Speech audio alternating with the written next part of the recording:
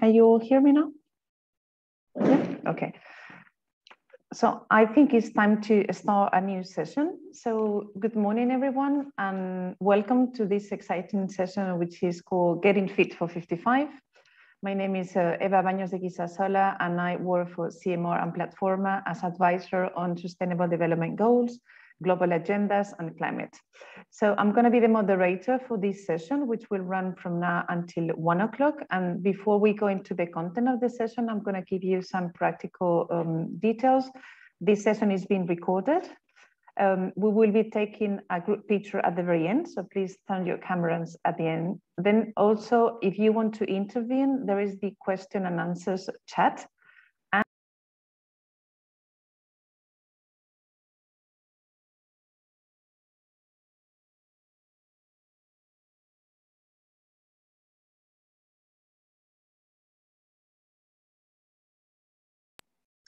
Where you will have a moment as well for questions and answers. So put them in the chat. Um, and then without any further delays, I would like to get into the session. Um, this is a session that follows the ceremony of the Covenant of Mayors uh, this morning. I think that many of you have been following that. Just in case some of you have uh, missed it, um, I will just really recap uh, very briefly. It was uh, an exciting uh, introduction by the President of the Parliament, uh, by Mr. Sassoli, also by the Commissioner uh, Simpson, also by the President of the Committee of the Regions. They all really reinforced the need to keep involving cities um, in the fight against climate change and also adaptation to climate change. They also recall the necessity to deal with the climate emergency in which we are now. We also saw that the pandemic that we have lived uh, recently has uh, put us in a very difficult situation, mainly at the local level, but that has also shown big opportunities for really making uh, our cities more resilient. So we are really leading on the example. We have seen that Europe is, a, is the leading continent. And now with the new uh, objectives that we have to become carbon neutral by 2050, this is a huge opportunity for the local uh, community to show an example, to lead an example. And also by doing this, we will also assist member states to contribute to reaching the Paris Agreement. Then we have also seen some very concrete examples for pioneering cities that are really committing to the uh, Covenant of Mayors. And we have seen examples from Tampere, Grove, Prague, Turku, Stockholm, uh, Grenoble, uh, Murcia, Padova. These are all cities that in one way or another they are not only fighting and adapting to climate change, but are really committing and to the targets and objectives of the Covenant of Mayors and really are aligned towards the uh, overall objective of uh, decarbonizing societies by 2050. And as you know, recently the EU has adopted a very ambitious target of reducing CO2 emissions of 50%, 55% by year 2030. And this is the new commitment that has been renewed within the global uh, community of the Covenant of Mayors. And just as a short recap, uh, the Covenant of Mayors, as you know, started in 2008. And then through the years, we have been added the adaptation dimension in 2014. In 2015, there was the new engagement for a new commitment to be more ambitious and reaching 40% by 2030. And now with the overall EU goal of 55% by 2030, cities really want to be in that uh, um, direction and they're really now showing new commitments and this morning session really proved that is real and is happening. So, and, and as you know, the uh, Covenant of Mayors has three steps. So it's the um, commitment, the formal commitment by the uh, politician, then the production of an action plan on energy and adaptation, and then the monitoring and review of the progress. So this is in a nutshell the Covenant of Mayors. As you know as well, the Covenant is part of the global Covenant of Mayors community with regions all around the world and the community currently has more than 10,000 I mean, we're really getting to 11,000 uh, cities engaged here, covering more than 330 million citizens. So this is really the clear example where the local level can make a difference and the networking that we have created in the Covenant of Mayors is really a clear example where we can see that things are happening at that real. So without further um, introduction on this, uh, I'll present the program. We're going to have two um, speakers from the Commission. Uh, our colleague Eero Eilio, advisor in um, DG Ener, is going to tell us about the Fit 55 package, why this is important. It's a package that was adopted in July to really comply with this new ambitious target. And then our colleague uh, Matthew Baldwin, uh, manager on climate neutral and smart cities mission, uh, deputy director of DG MOVE, will tell us about the climate neutral and smart cities mission, which also has a very ambitious target for 2030. Then we will have a bit of time for uh, quick reactions to these two speakers, and then we will present two cases from two cities, the city of Aachen and the city of Śląsk, um, where they will present us what are their commitments and finally, we'll have uh, more time for questions and answers, and that's where I encourage you to really use the chat box. And as I put in the slide and that you can see, there are hashtags that I encourage you to um, use uh, to promote your activities and to disseminate the practices that you're involved in. So without further delay, I will pass the floor to my colleague Eero. Eero, you have the floor. Thank you.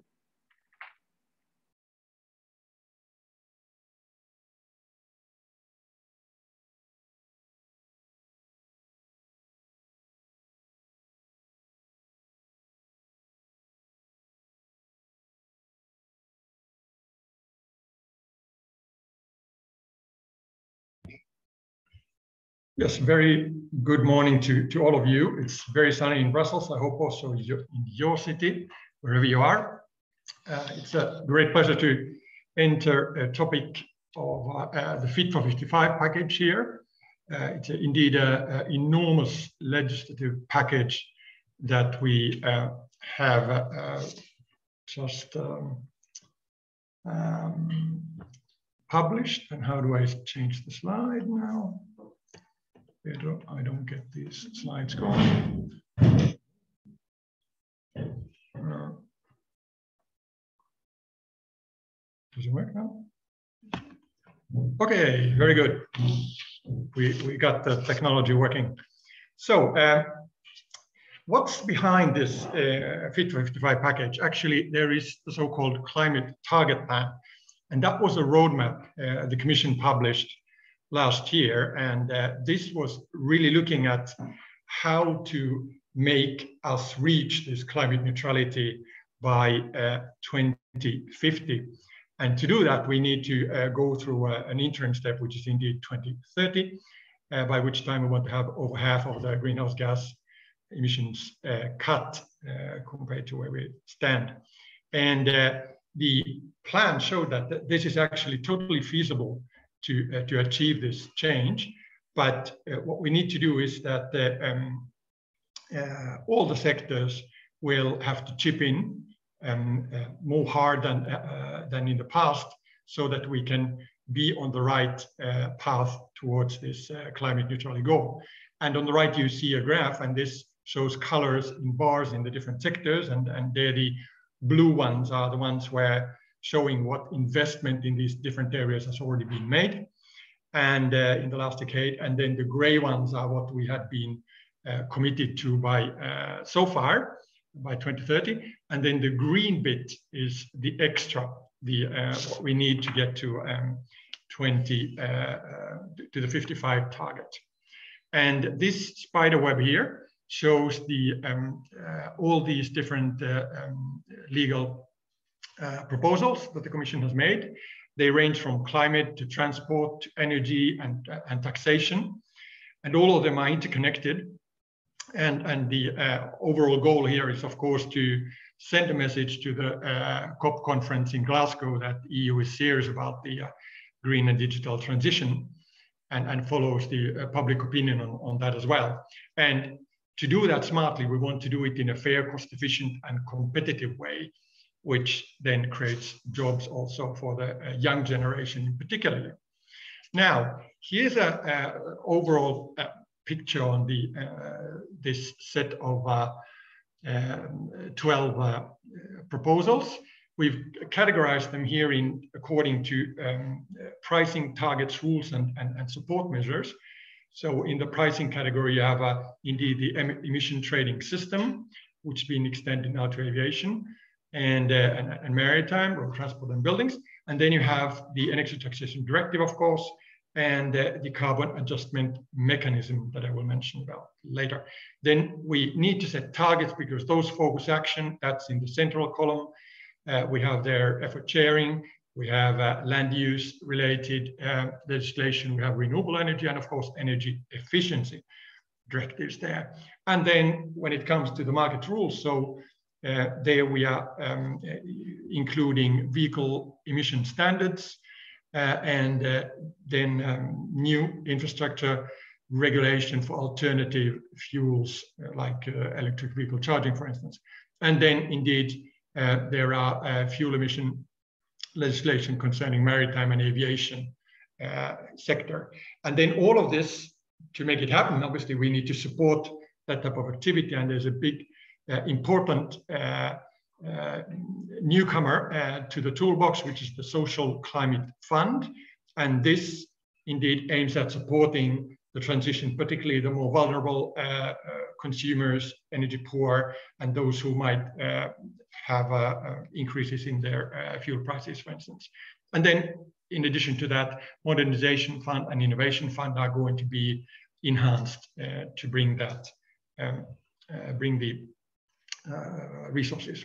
Then let me present you some of the proposals in this. We start with the emission trading system. This is basically uh, doing what you all know about uh, polluter pays principle. Well, here it's going to be the emitter pays principle. So uh, greenhouse gas emissions um, are going to have a, uh, we will put a price on them. And uh, the uh, system, the ETS system has uh, worked very well already uh, uh, so far. However, now it needs to be updated.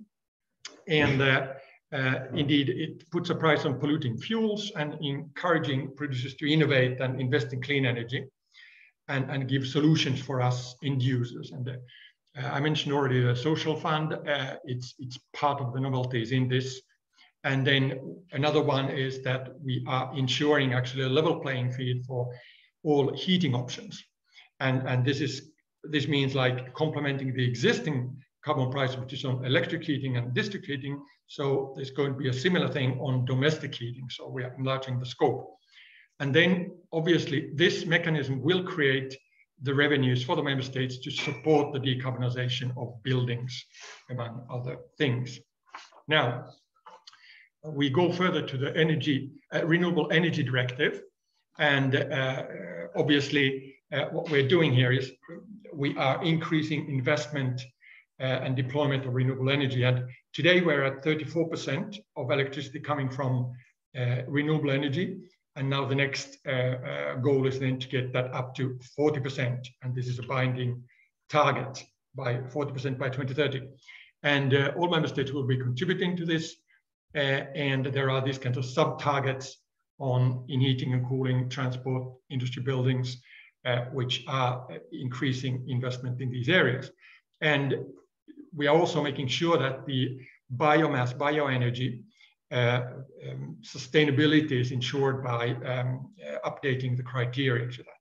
And one point on cities, so I think there was a, uh, also, there's a reference, an example, uh, where member states are invited to provide capacity building for local authorities in the planning and implementation of renewable projects.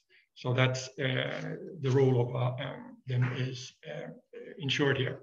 Now, uh, then to the Energy Efficiency Directive, uh, which is a key one for, uh, for cities as well, in particular, I would say.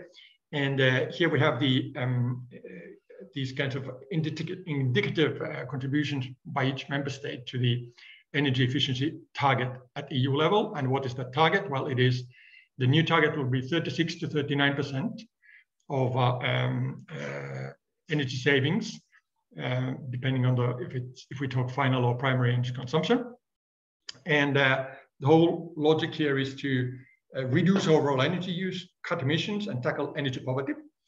And uh, then there's going to be a, a guidance to how these national contributions are set, and and basically pretty much doubling these uh, saving obligations for each of the member states.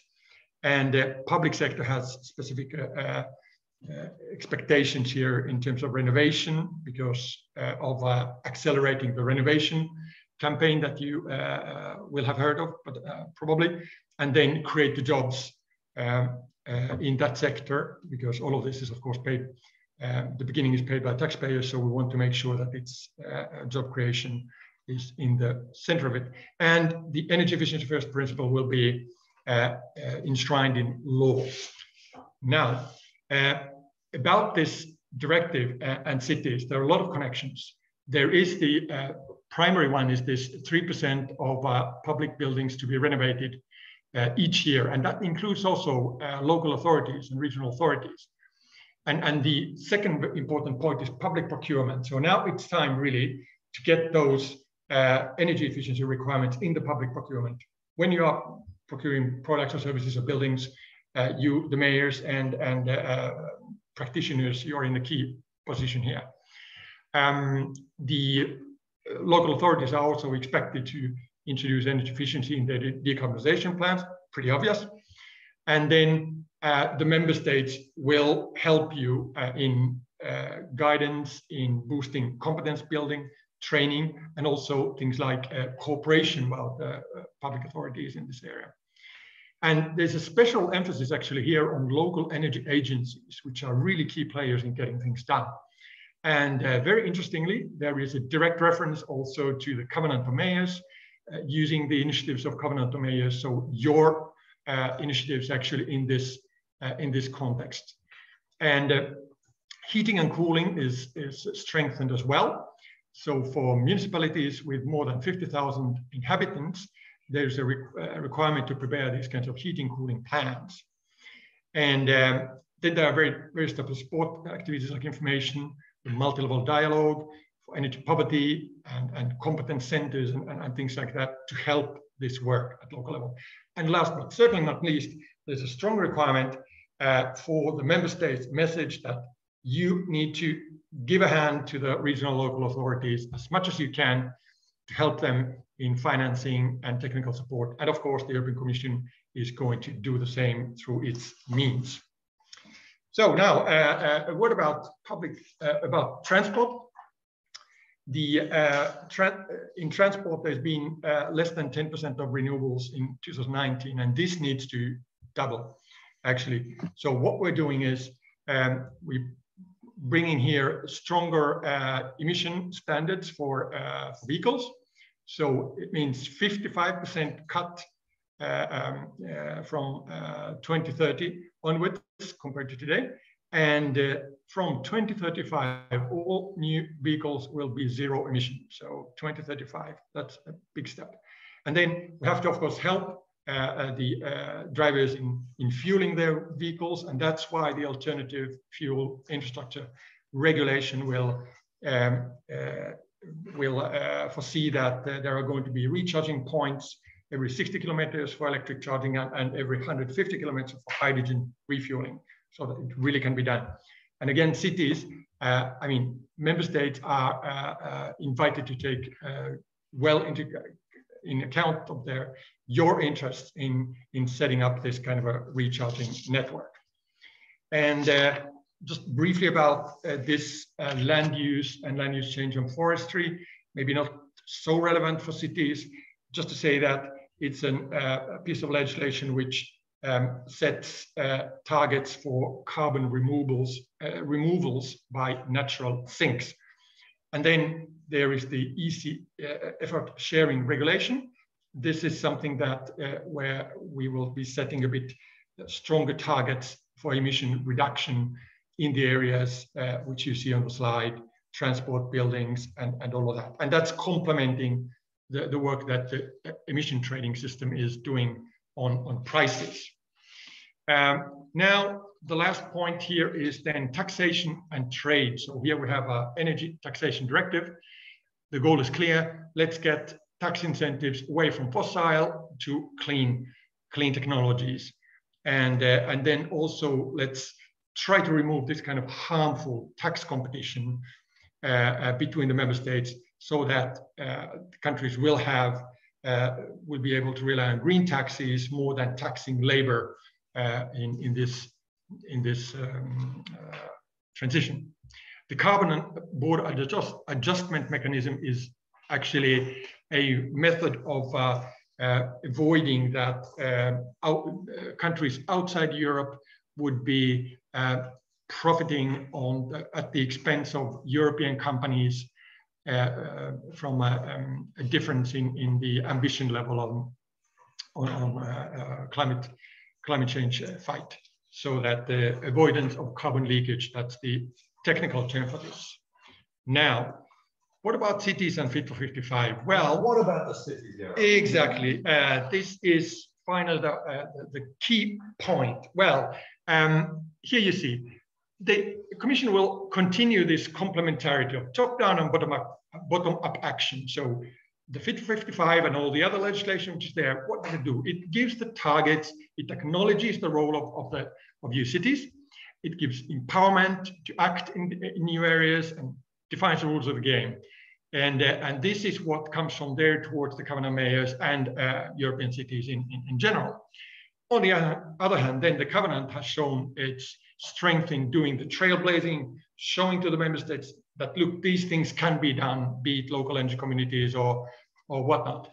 And uh, the cities, you will be also giving us policy feedback on what works, you know, reality checking, and you will, uh, you are the ones who have the network you have the close contact to the uh, citizens, so you know best what works and what doesn't, particularly when we need to think of uh, behavioral changes.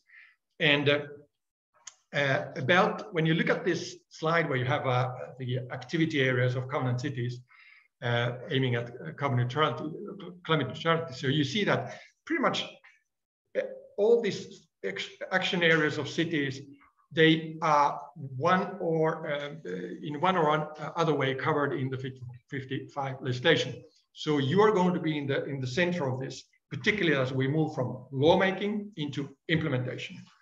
So role of the covenant, role of the cities is going to be increasing all the time.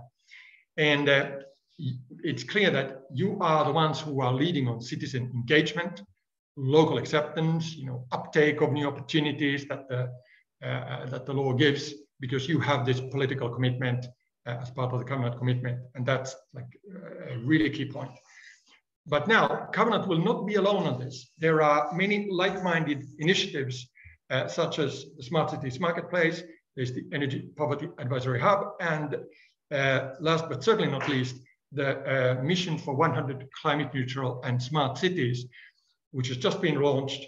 Uh, and this, these are bringing innovative solutions, support, and uh, other, other, other help to covenant signatories in their work. And uh, it's going to be my great pleasure then to soon give the hand, give the, uh, the floor to um, the next speaker, Matthew Baldwin, who will be then uh, developing on the um, connection between the, uh, the, the climate neutral um, cities mission and, and, and the covenant. Thank you very much. Okay. Many thanks, uh, Eero. I've noted uh, three very relevant questions, so we'll wait until Matthew has presented his part, and then we'll come back to a, a shorter moment for questions and answers, so we can address them to both uh, you. Okay, so thanks very much. So uh, Matthew, you have the floor. Thank you.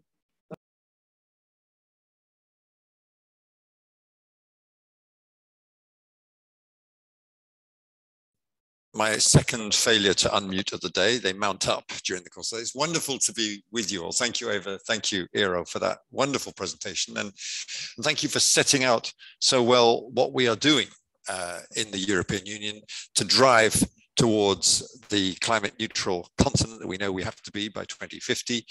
And of course, in the meantime, we have to make this crucial intermediate step fit for 55 by 2030. What an exciting challenge. You set that out brilliantly. And if I may, it's lovely to be back in the context of the Covenant of the Mayors. Um, uh, Eva, you mentioned at the start, uh, uh, you began in 2008 and I attended, I think, one of the first events when I was working with President Jose Manuel Barroso uh, in the hemicycle of the European Parliament. And the excitement that day was literally pulsing with all the mayors coming together, determined to make what were then the first steps towards action in this uh, in this crucial area and so exciting for me to come back into this field and to hear what you're doing and how you've in fact upped your levels of ambition Now you're explicitly talking about climate neutrality, uh, and that's very exciting. And I want to come along today to explain how I hope we can add value to that in a very complementary way with the Covenant of the Mayors, um, and explain why the European Union needs yet another initiative on cities and climate neutrality. Next slide, please. Well, to this audience, I really don't think why I need to say why cities matter, but let's remind ourselves 75% of us live in cities, 85% by 2050 on just 4% of uh, EU's landmass, and more than 65% of our energy consumption, more than 70% of global CO2 emissions flow from our cities. And of course, it's not just these terrible invisible greenhouse gas gases that are threatening our very existence. With those gases come a stack of other problems, air and noise pollution, congestion, dangerous roads. And if therefore we can flip that logic on its head and start to address uh, greenhouse gases in a systematic way across the cities, we bring incredible co-benefits with it. And on the energy side, you we were discussing the other day, uh, uh, climate, uh, uh, um, uh, we, we, we can um, get lower energy bills. We can get energy security if we can, if we can act in the right ways.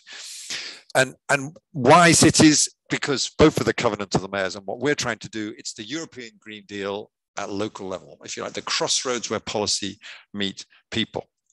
And as you've just heard, uh, as you've been hearing all this morning, cities have that ambition to go further. Uh, cities are these concentrated centers of uh, economic and political power, um, the vanguard, there's focused centers of research and innovation, uh, embodied innovation, if you will. Um, but um, despite everything that's going on, thus far, it's very interesting. Again, we were discussing this era the other day. Relatively few cities thus far have declared their readiness to be climate neutral by 2030, to go all the way.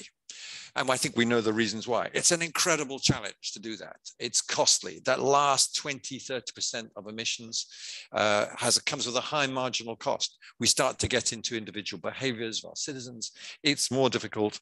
It's more complicated, which is why the European Commission last week decided to launch a new mission to have, and next slide, please, with a roll of drums, twin objectives at least 100 climate neutral and smart European cities by 2030, building on the work that the Covenant of Mayors has done and is doing and working in close partnership with the Covenant of Mayors, but also looking at the process of how a city becomes climate neutral, ensuring that these cities can act as experimentation and innovation hubs so that all cities can be in a position to be climate neutral by 2050. And I don't need to explain why. We've all got to be there by 2050. Cities can get there further and faster. Next slide, please. But if you're a city out there, and we're going to hear from a couple of great cities in just a moment, I'm sure you're asking yourself, well, what's the value added for us? We're already participating in the covenant of the mayors. We've uh, upped our ambition levels. Um, we're doing uh, everything we can.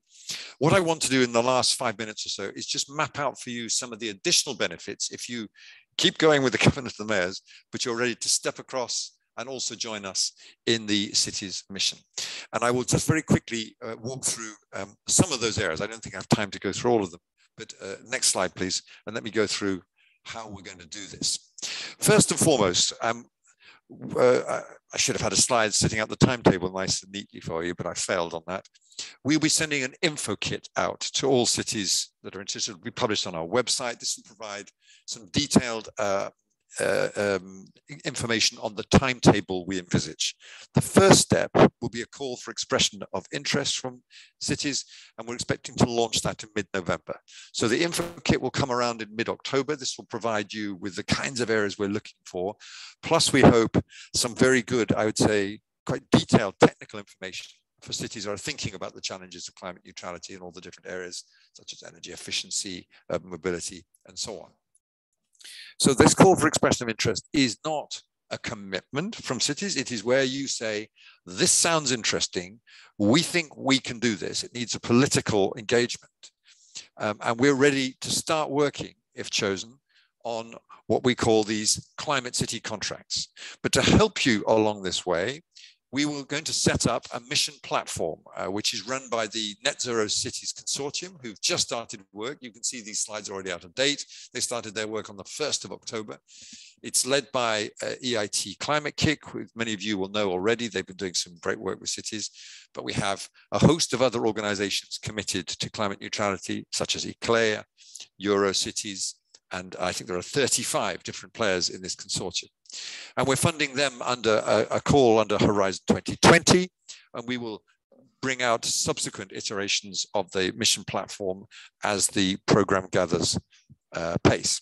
But it is these climate city contracts that we will create together with cities, with your citizens, with your stakeholders, with local and regional and national authorities. Um, and this is where, if you like, the city says, okay, this is how we're going to do it. We thought about it. We have with the help of the mission platform, constructed these tailor-made investment plans based on detailed uh, project and program preparation and detailed financial advice. And yes, we're going to also participate in these R&I pilots and deep demonstrators, and the mission platform will be responsible for taking those forward. I think the mission platform has a huge capacity to be a great helping hand for cities who are engaging in this extra step to be climate neutral by 2030. Next uh, slide, please. And so here's a quick uh, uh, look at these climate city contracts in slightly more detail. I've mentioned the tailor-made plans and how it will be worked with support of the mission platform. Key point, when we ask cities to sign these contracts, they're non-legally binding. It's the memorandum of understanding we're looking for. We're not going to be taking cities to court if you fail to deliver on climate neutrality by 2030 or reclaim funds or anything like that. Um, but again, we see these contracts as a central tool which we work on together um, uh, to, to, to deliver on this great ambition. And one thing I haven't mentioned up to now, the need to innovate across the board, which is why we're rooted in the Horizon Europe program, but also on innovative city governance, a holistic approach, looking across the piece at how we deliver climate neutrality, whether it's in energy, whether it's in urban mobility or in waste and water management, the whole circular economy.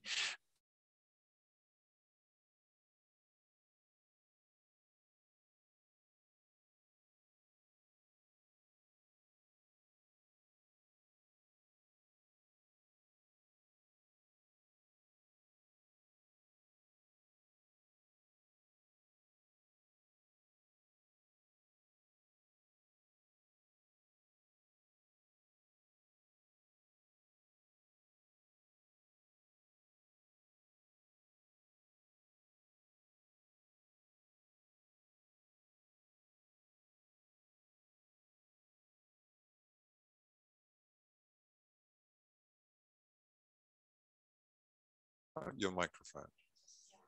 Testing, I'm back. Sorry, we had a brief technical difficulty there. Um, uh, hope you had time to make yourself a cup of coffee, um, but I'm back live with you. Next slide, please. Yes, um, I mentioned that we're run out of Horizon uh, Europe. This is a brief look at how R&I content is going to directly support your city in achieving this mission. Um, there will be specific calls aimed at uh, helping cities uh, deliver this, such as on positive energy districts, such as on public transport. And then we'll be specifically, again, within the mission platform, producing, uh, delivering new calls uh, through that as well. And again, the goal is to develop the capacity and showcase how cities can scale up and replicate these, these efforts. Um, the last point is very important. We are not trying to be we are a new kid on the block. We are not planning to be the only kid on the block. We really want to work closely with the Covenant of the Mayors, with the Climate Pact, with the Zero Pollution Action Gang over at DG Environment, um, with the Living in the EU and the Smart Cities Marketplace. The list goes on, but we are planning to join up so that cities, uh, you can use these initiatives um, and, and gain benefit thereby. Next slide, please. Well, this is a key element of the value added because if we look at the funding and financing required for cities, it's going to be enormous. Um, just to let you into a little dirty secret, there isn't going to be enough money in the EU budget, or the national budgets, or the city budgets. We're going to kick in around 300 million in the first three years from the Horizon Europe. Um, and we're very much hoping that uh, uh, I flashed it on the screen earlier with the mission label, cities will have um, enhanced access to structural funds, to funds flowing from the Recovery and Resilience Fund, um, uh, um, all different kinds of EU programs, the CEF and so on. But we know that cities are going to need very targeted and specific advice as to how to reach out to get that additional funding and financing. So we're planning detailed cooperation with the European Investment Bank. We're ready to put some money from the mission into uh, the financial advisory capacity there, looking at possibly a blending facility working with the EIB and others to develop green bonds and other means for cities to raise money on, uh, on private capital markets. But it's a very interesting exercise if you look at the cities that are planning to do this already, like Leuven, just down the road, who've done tremendous work at working with uh, private investors, including locally, the local banks, um, but also national and regional promotional banks. Um, we're really confident that the new EU sustainable finance agenda is going to offer huge new opportunities to encourage investors to invest locally. Just anecdotally, Eero, um, the other day I was talking to one of these masters of the universe, super finance guys in New York, who advises high net worth individuals on how they can plan their portfolios. And they're no longer looking at ways to reduce their carbon footprint.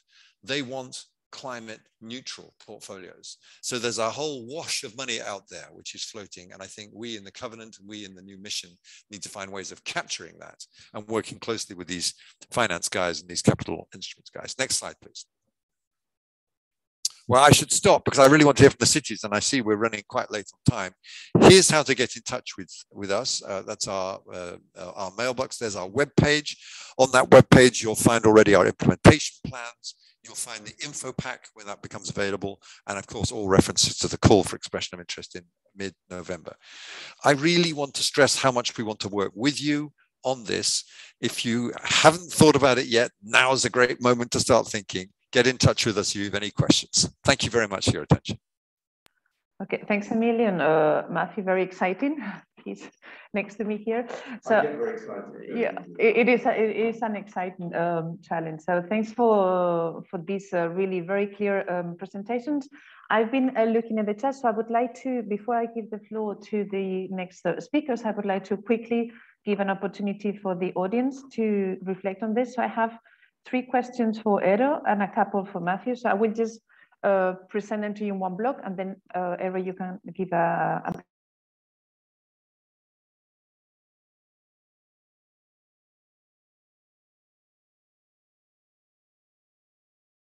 So can you hear me now well? Okay, I don't know whether you've not heard me before. So I will say it again that I want to give the opportunity to the audience to reflect on uh, the two presentations were made. I've got three questions for Eero and two for Matthew. Eero, the first one is from a colleague from Essen, is how will this 3% be enforced? And if uh, member states are responsible towards the um, commission, uh, if the local authorities cannot fulfill this 3%? Uh, our colleague uh, Kai Lipsius is when this social climate fund will start funding. And our colleague from Barcelona is, uh, is it expected to be any kind of resilience funds to develop and implement adaptation to climate change measures? These are the ones for you, Eero, and the ones for you, Matthew, is how small cities, part of the Covenant of Mayors, um, can benefit from the mission, at what stage? Um, and the second one is are climate city contracts uh, among stakeholders in the cities or between cities and um, zero net zero cities or both? And um, how stakeholders in the cities should commit? So you can maybe give uh, feedback on, on these two points. So Eero, you please. I should be unmuted. Is that the case? Yeah, very good.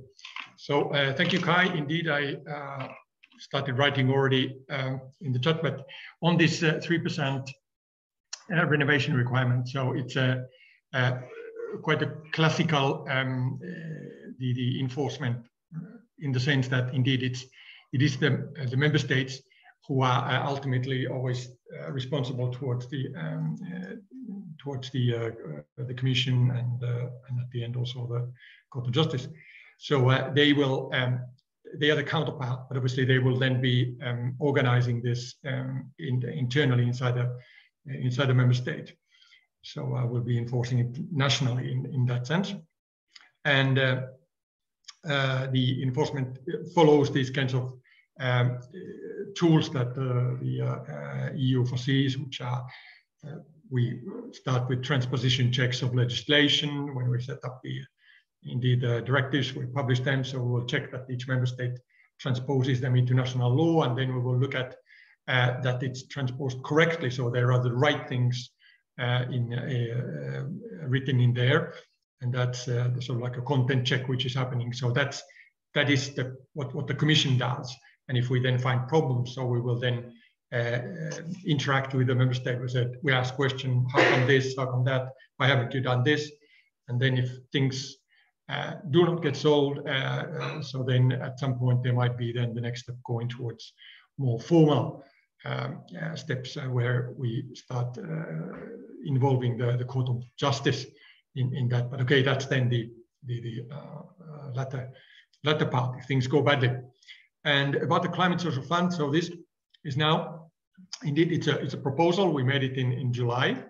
And what's happening now is that um, the European Parliament and the Council, so they are working on that. They are, uh, they are discussing this. And then we will, uh, the, the, the uh, really use of that will actually depend now on the schedule that uh, uh, um, the legislative process will take. So uh, I would I would expect this to certainly this kind of process usually takes a year or, or, so.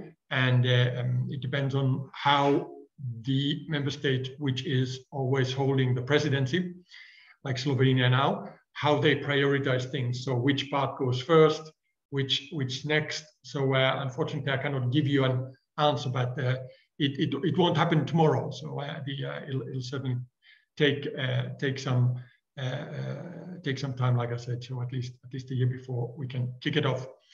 That's the uh, that's that. And then there was a question about the resilience.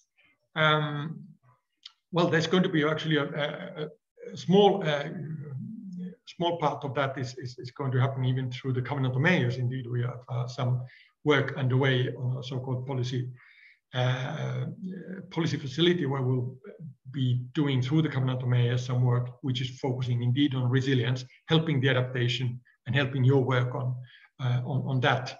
Uh, but then, uh, indeed, from the, um, the EU budget and, and also the recovery um, and resilience addition to the budget, um, so there are going to be funds allocated also for resilience work. So not necessarily as name, uh, like calling it the resilience fund, but uh, um, uh, but more, more generally to adaptation.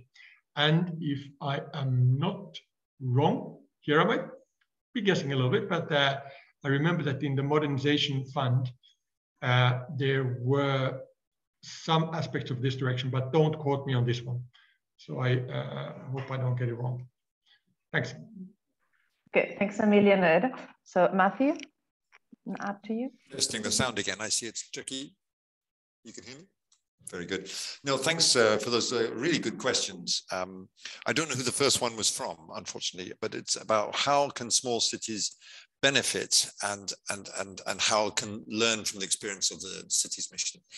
Um, I didn't go through all the details criteria we are setting, but we are essentially setting the threshold at cities of 50,000 people or above.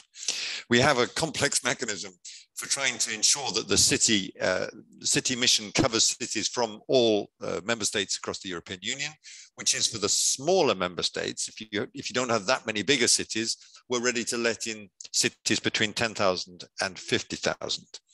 Um, this way, I think I hope we will have a mixture of the smaller cities all the way up to hope one or two of the mega cities of Europe, because we need to test and understand this concept of climate neutrality of cities of different sizes, of different levels of preparation. And this mission must look like Europe. It can't just be, you know, what I mean by the usual suspects to the north and the west of the Europe, from your home country of uh, Finland Eero, for example. It's got to come from all over. And some of the most exciting um, uh, the, the, most exciting uh, uh, impulses I've received are so often from South and Eastern Europe because they know they have often a long way, a lot to do to catch up.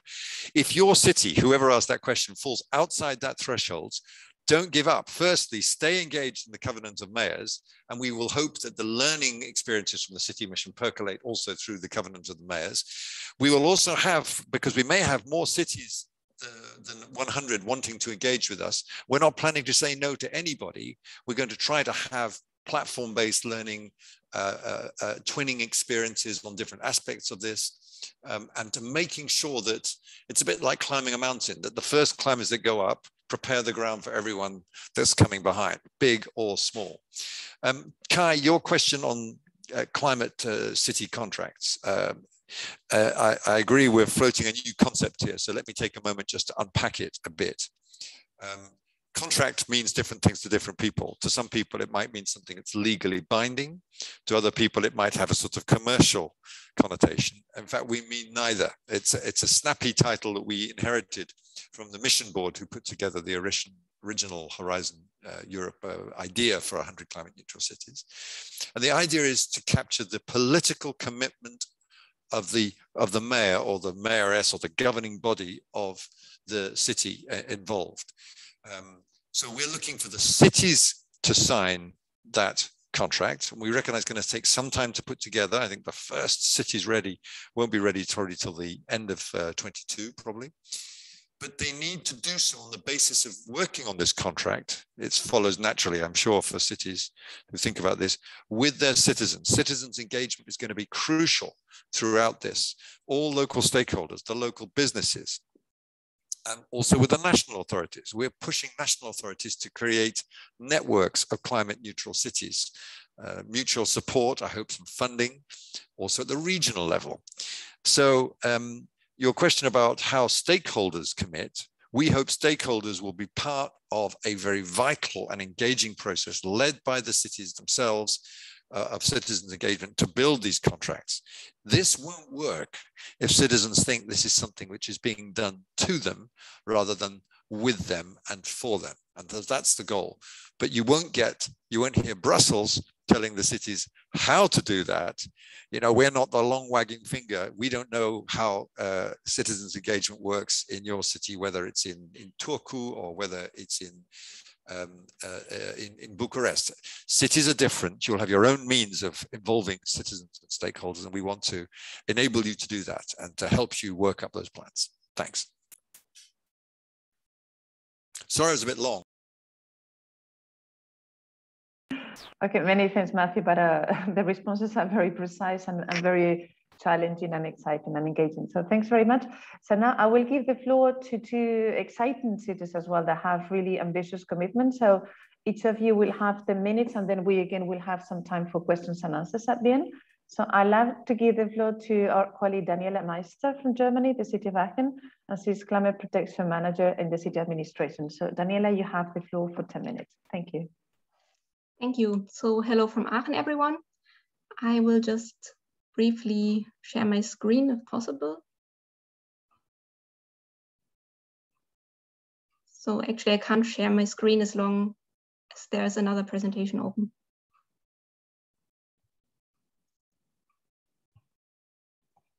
Ah, now it's working, okay.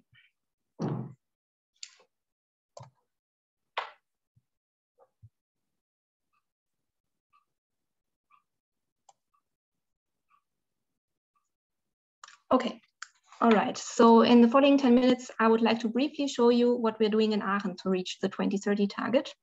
But first, I would like to give you just a short overview on Aachen. It's a, um, a town located at the tri-border region between Germany, Belgium, and Nether the Netherlands. It's known, for example, for its quite old and nice buildings like the Aachen Dome, you can see here on the right side.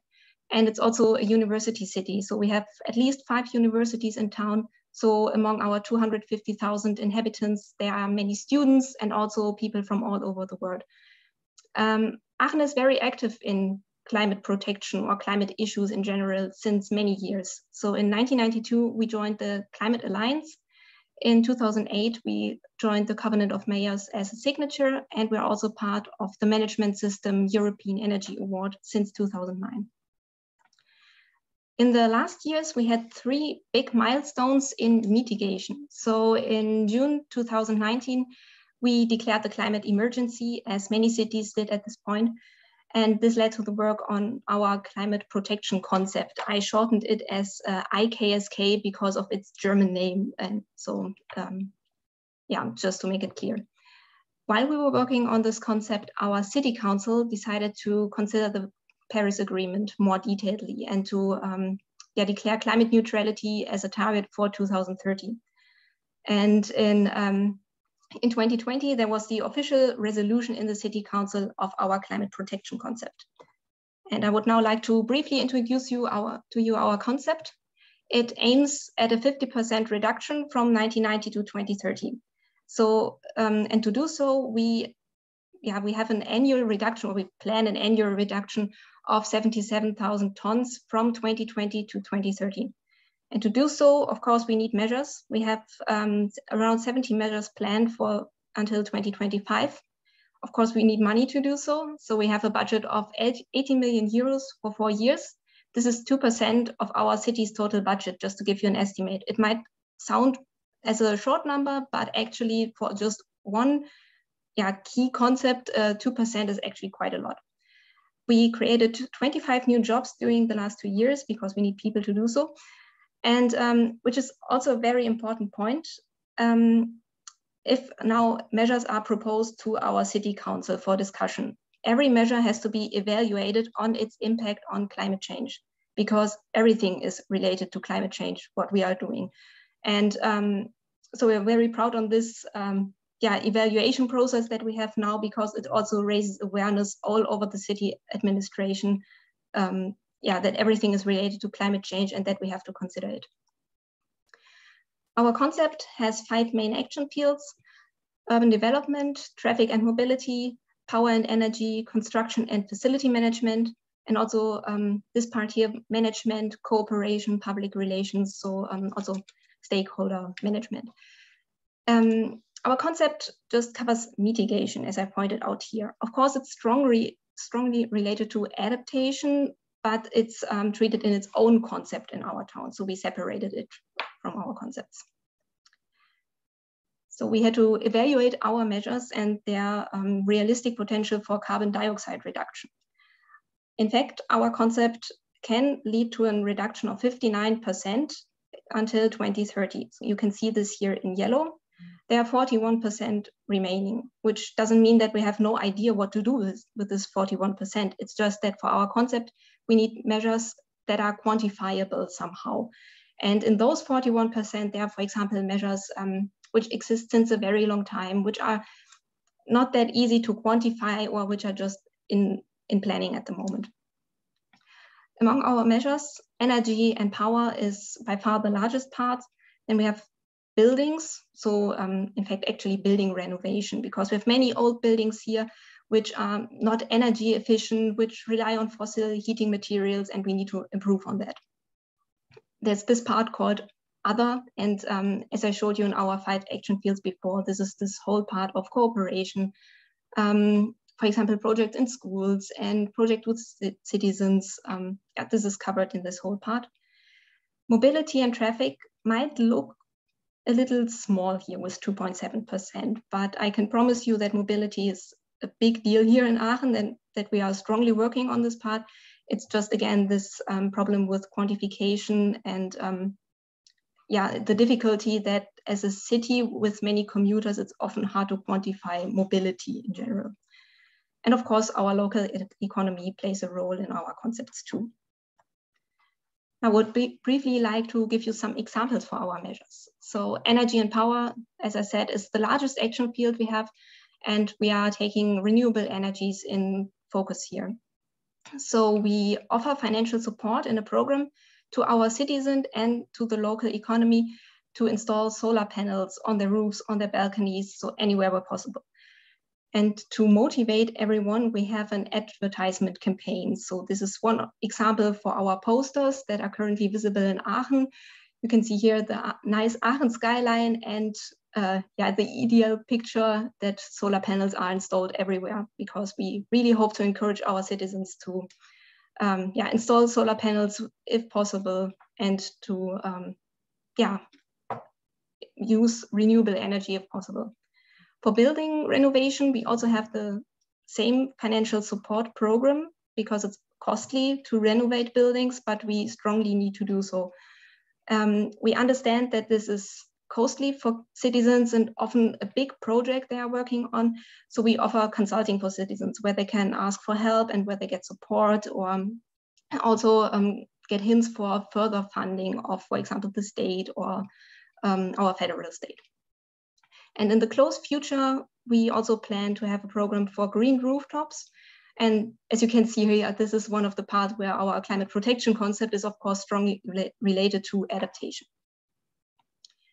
yeah, mobility, as I said, it's um, very important in Aachen to have a mobility transformation because at the moment it's a car friendly city and not really a bike friendly city.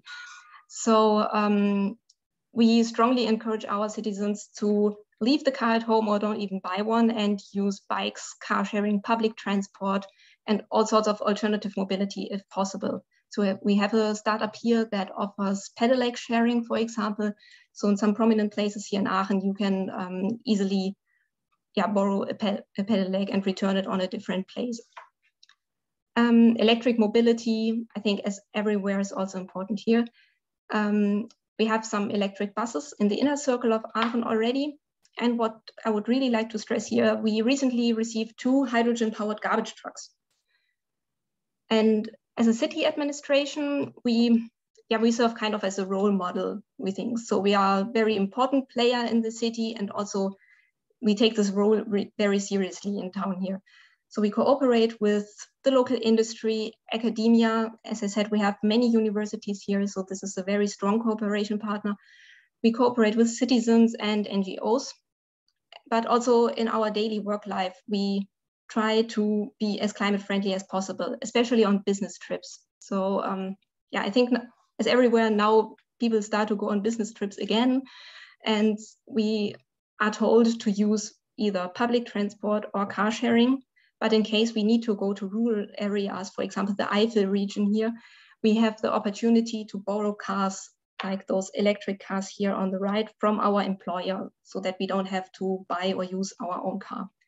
And also for our daily commute to work, we can um, get commuter tickets to use the public transport and of course, not only since COVID-19, but strongly promoted by it, we have the opportunity now to work at home a few days a month. And um, this is of course very convenient for my colleagues who have a long distance to work and so they don't have to use the car every day or the public transport. And um, of course, we try to install solar panels also on our own buildings. Um, yeah, and to, yeah, building renovation is of course also an important part here. As I said, while we were working on this concept, our city council decided to yeah, set even stronger targets and to become climate neutral by 2030.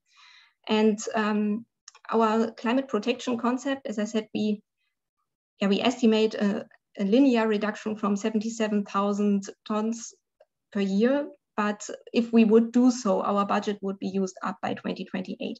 So we urgently need an updated concept, and this is what we are strongly working on at the moment.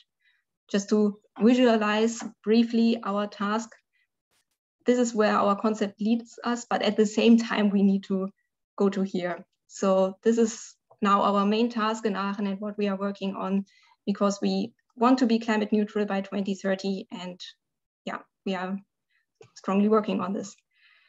So let me briefly sum up. Um, what I would like to keep you in mind, just in the interest of time maybe, is our two financial support programs, because this is what we are really putting a lot of effort in to help and support our citizens to make their homes climate friendly and ready for a future.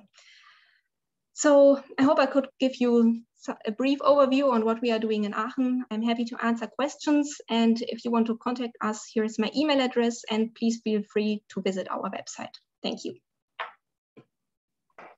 Okay, well, thank you very much, Daniela. We're uploading in, in the room. Okay, so uh, let me share with you the uh, you know the, the you've put into this is is an exciting example.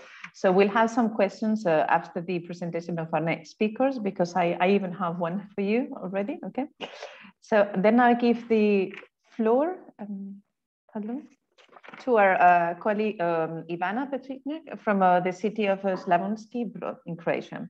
So Ivana, you have the floor also for 10 minutes. Hello, everyone. I am Ivana. uh, okay, uh, I am working in the city of Slavonski Brod uh, in the Department for Construction, Physical Planning and Environmental Protection. Uh, I don't know, you have my presentation, right?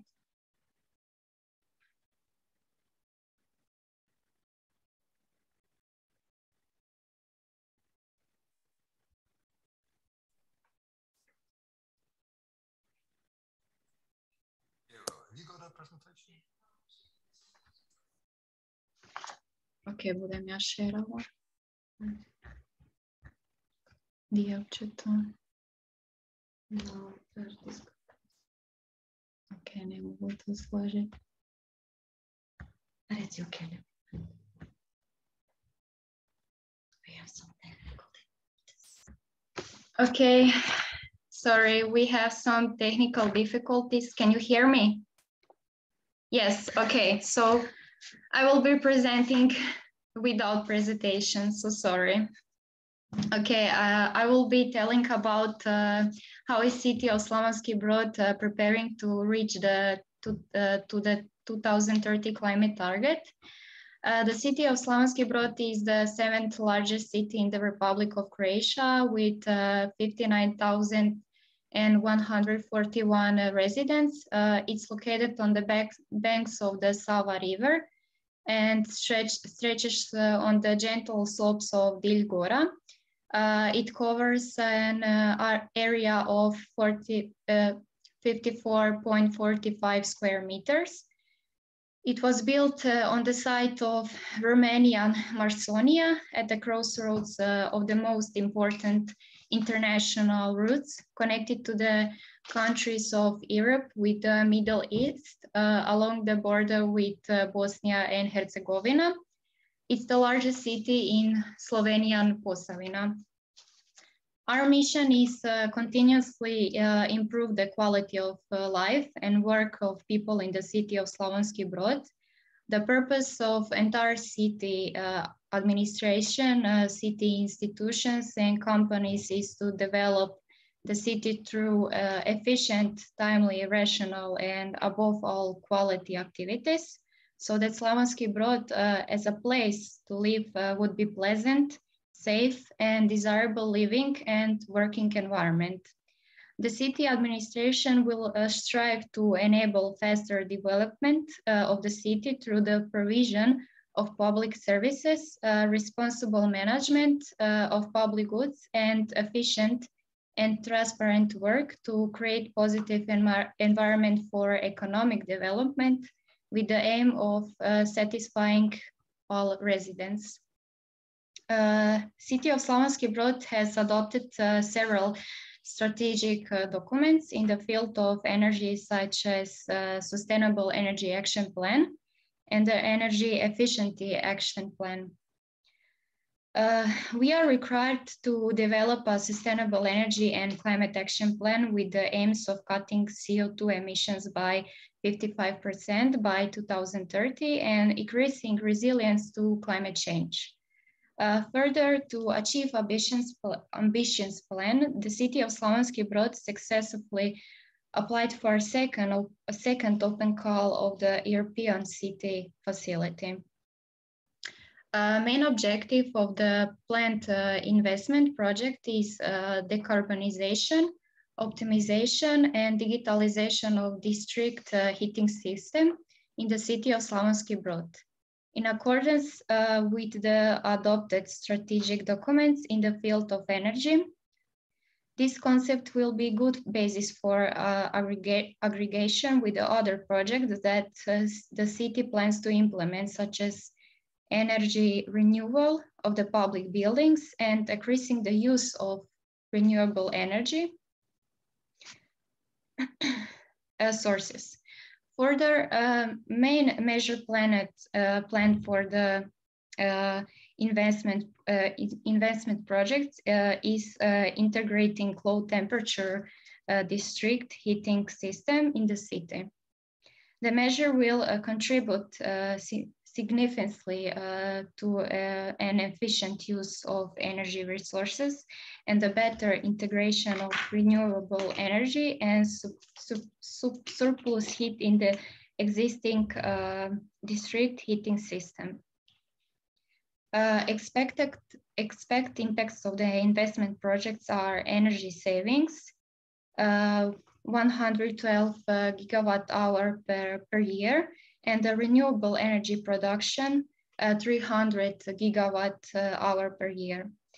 Foreseen activities to develop the investment concept within European city facility are establishment of the working group and organization of two working group meetings, uh, mapping, mapping of current demand and supply, renewable potentials, uh, quantitative assignment of different options uh, for reducing emissions, and development of thematic analysis such as uh, engineering, market, uh, deeper economic, financial, and analysis of possible sources. Uh, also for, uh, for the implementation of investment concept, we are already in the partnership uh, with uh, Brod-plin Ltd as a local utility company. Main output of this project uh, will uh, demonstrate an innovative and efficient approach in designing investment con concept, which can be easily reused in other cities with existing system but also in the cities uh, that have a measure for development uh, of district heating system in plan. In accordance with the adopted and future strategic documents in the field of energy, this concept will be a good basis for grouping with other projects uh, that the city of Slavonski Brod plans to implement, such as um, uh, energy grouping uh, recovery of renewal, energy renewal of public buildings, uh, increasing uh, the use of uh, renewable energy sources, development of alternative fuel infrastructure, uh, modernization of public lighting system, and increasing green uh, infrastructure. Also, by implementing these projects, uh, the city of Slavonski Brod will take uh, a key step towards achieving uh, climate uh, naturality, natu naturality uh, as strategic goal of the European Union. City of Slavonski Brod will reduce 55% of greenhouse gas emission by 2030 and 80% of uh, greenhouse gas emissions by 2050. According to that, by 2050, we will be living in decarbonized and resilient city with access to affordable, secure, and sustainable energy. Thank you for listening. Thank you very much, um, Ivana. Also very exciting and very ambitious. So I would like to, so I wish you a lot of luck to both of you, Daniela and Ivana.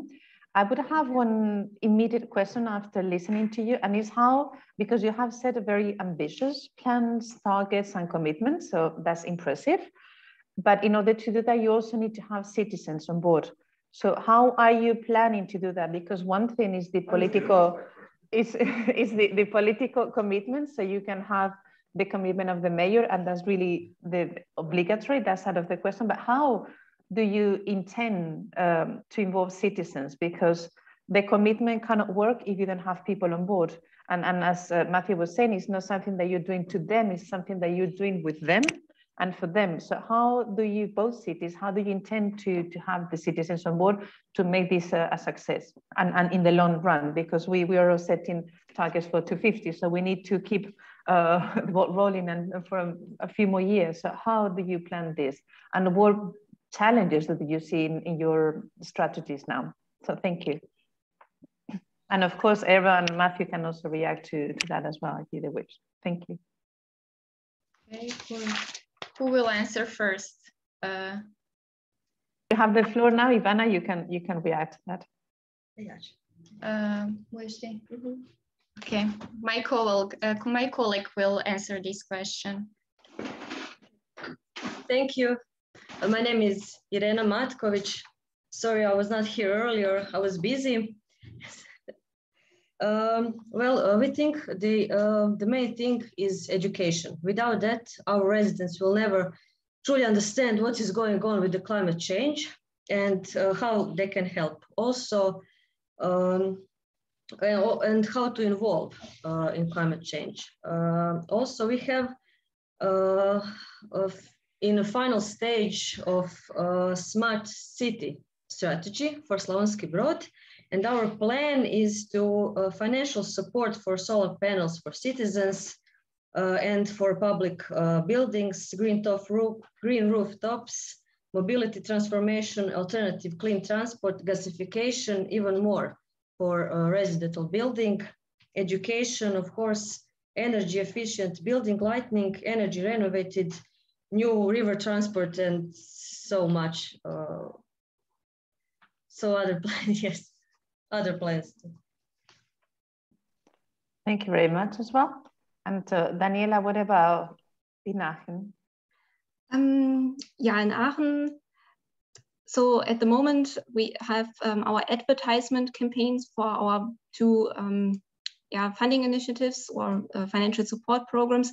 They involve also the dialogue with citizens. So for example, we now have um, for the second time next week, we will be in the at our local marketplace uh, and yeah, we'll be ready for dialogue there. So we try to inform our citizens there while they are shopping, they can come over and ask questions. And also we have, um, I don't know how to call it, it's um, some kind of school program for um, people not being at school. So they can book courses here at in the evening. And there we also have some information events also with um, NGOs and um, some consulting initiatives. So it's really hard to translate it into English because it's uh, very German words. Um, so we try to inform the citizens with the help of local NGOs and local groups. So this is also um, some indirect contact to the citizens. And um, yeah, education uh, was also a good point. So we have a prog program um, at the moment in the process to go to schools and to inform kids, parents, teachers, to inform them and get involved on energy saving, sustainability, and so on. And um, yeah, in general, cooperating with citizens is now a big topic since we have a new mayor in town. So this is all at the moment now in progress, and I'm very excited how this will turn out in the future. Thanks very much to both of you, Daniel and Ivan. I think that with uh, officials like you, you know, the, it will be a success by any means. So I know that Matthew wanted to react as well. So Matthew, please, well, you have. So interesting to hear.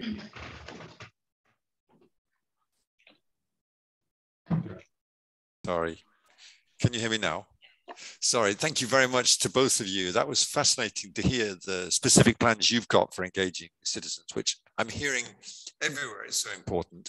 To replay something I hear from other cities, what um, they tell me is that their citizens react, particularly when they hear about lower energy bills or um, less congestion or better air quality for the children um, uh, because in a way it's hard to sell climate neutrality on its own because if Aachen or Slavonski Brod are the only places to do it, it won't make any difference. And so you have this uh, sort of tragedy of the common. So um, what I'm hearing from other cities is sell the other, the co-benefits as well, and then people really get it and, and move along. Does, is that, does that fit with your own experience?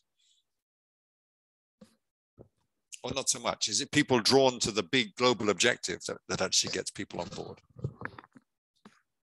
Uh, can you please uh, repeat the question? Sorry.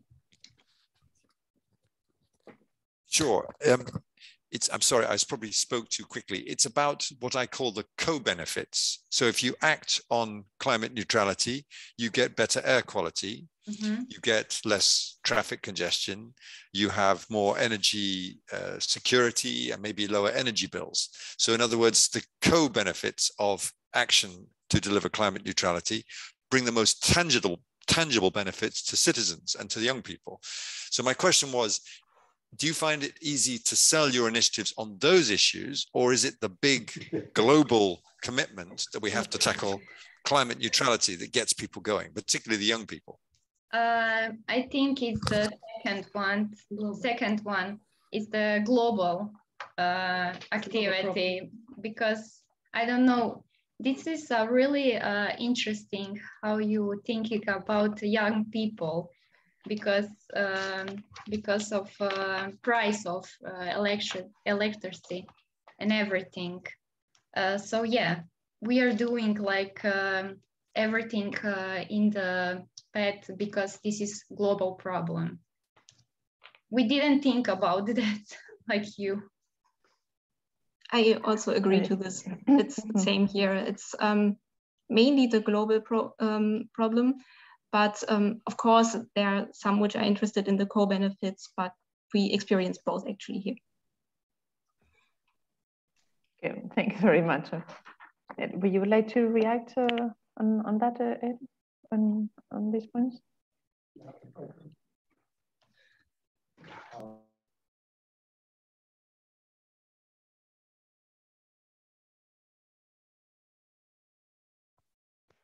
Okay.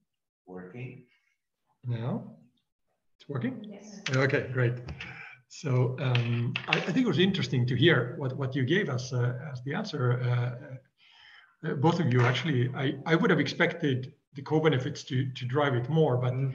but this could also be the um, this kind of also Greta Thunberg uh, effect a little bit, and the yes. um, and, and indeed, I would say younger generation, you know, caring about the global global aspect a lot because that's uh, I think it's great, you know. But uh, I always thought myself that it would be more driven by these kinds of like day-to-day things. But that's probably applies more to my to my mother, than uh, who is 80, uh, 88 years old. So uh, it's it could be a bit of a generational generational issue, or then cultural. Mm. Fascinating. Indeed. Okay, thanks. okay. Are there any additional questions? Because I also had something on the financing side, which is always something that comes on, on every political agenda or any technical agenda is where is the money? So since you have very ambitious targets, do you foresee some kind of stability in, in finding these resources? Because also the, the political cycle changes. So sometimes it depends very much on whether the mayor is more supportive of the climate agenda or less climate and climate uh, mitigation and adaptation, I mean, or a bit less supportive. So do you foresee, you know, like a stable and sustainable financing strategy up to 230? To, I mean, up to 230, you already have plans, but up to 250. Maybe it maybe it's under preparation, so no, no problem. It's just a very challenging aspect. Um, I'm I'm not sure how to answer this question. So as I said, we have a budget until 2025, and I think this is quite sure. But actually, um, since I was one of the 25 jobs that were created, I'm just uh, at the city of Aachen since 11 months, so I'm still learning on it. And um, yeah, I, I now I, if I have to guess, I think climate change is very important, especially here in Aachen, since we experienced those drastic floodings um, in July, I think it will be a topic during the next years for sure. Brilliant, thank you. And good luck in the new position as well. It's very challenging. Okay. And you, Ivana, wanted to react? Uh, okay, well, it's the same for us too uh, in the Croatia because we are um, large, the largest city in Slavonia and Posavina, but um, I don't know. this is really complicated question.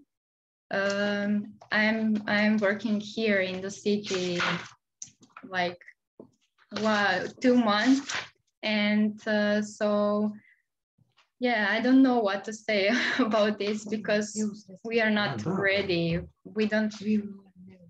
We, we are we always rely on EU funds. I can say like that for now. Okay, thanks. I mean, is, is it really a huge challenge? So you still have a few years to think about that. And I think that the fact that you have new positions that also gives you the, the beauty to design to, you know, the, the, the strategy for the upcoming years.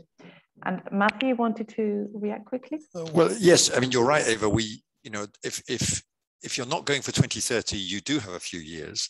But if you're going for 2030, the time is now. And, and so uh, I'd really, um, I mean, I'm not able to say you're in the mission, but I'd very much invite uh, Grad Slovenski and, and, and of course Aachen to think about joining the mission for the precisely some help on those financing aspects.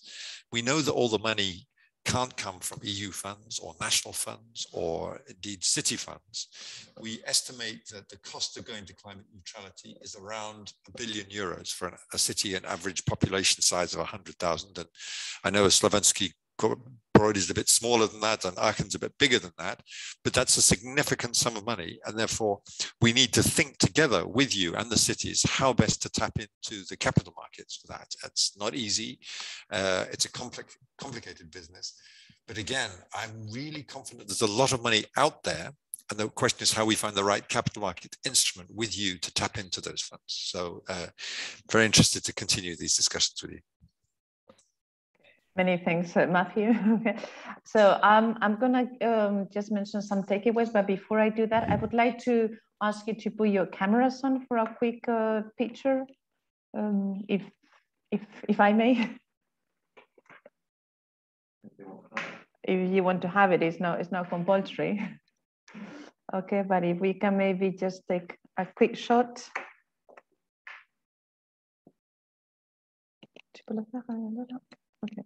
Okay, we can take this. Okay. So, okay. Shy, shy people behind the screens, but it's not a problem. I mean, those who want to show yourself, no problem. Some some of you don't have a camera, so no problem. So Pedro, can you take one? Okay. So one, two, three. Once more. One, two, three. Do you have it? Okay.